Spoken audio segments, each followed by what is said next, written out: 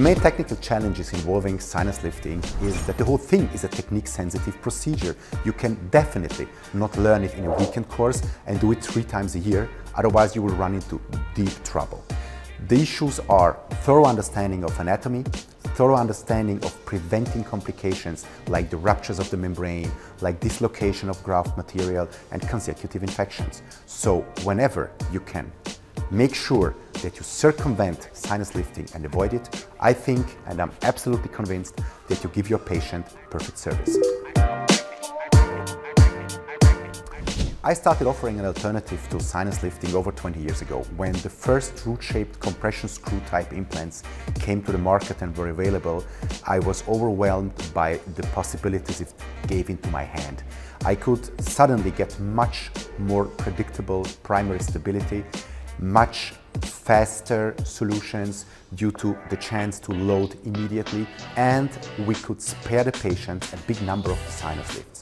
Let me point out not all the sinus lifts can be avoided, but I'm personally convinced that 70 to 80 maybe more percent of sinus lifts performed today can be avoided.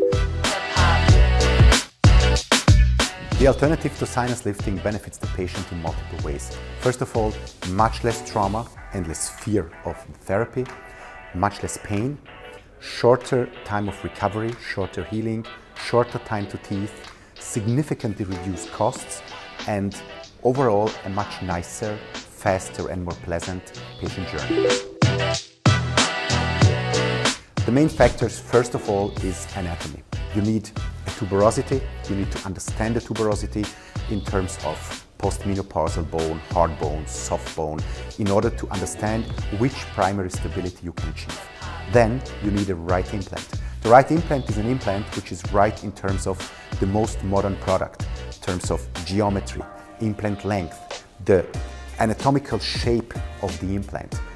In terms of the compression screw, what kind of drill protocol do you need? And then you combine the narrow long implants, the short implants, and if available, the tilted implants in a splinted way, and voila, you're ready to go.